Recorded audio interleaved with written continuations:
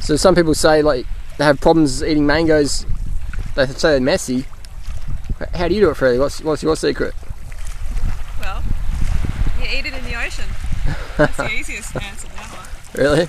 Yeah. So if you get messy, you just Dunk it down. Nice. It's a pretty good place.